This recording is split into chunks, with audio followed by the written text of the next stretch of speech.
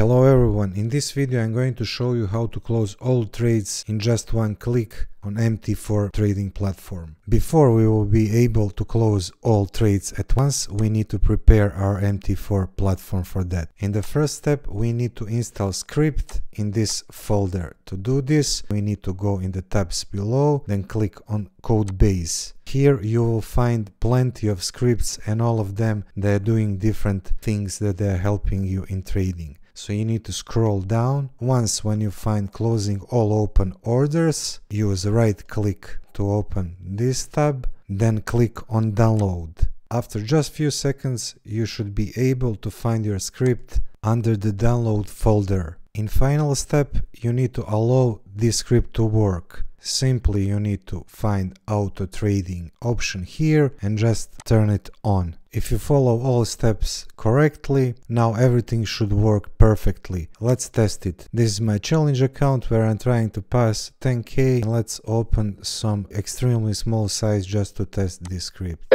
One, two, three. To close all positions at once, all you need to do is use right click on the script and then execute on chart.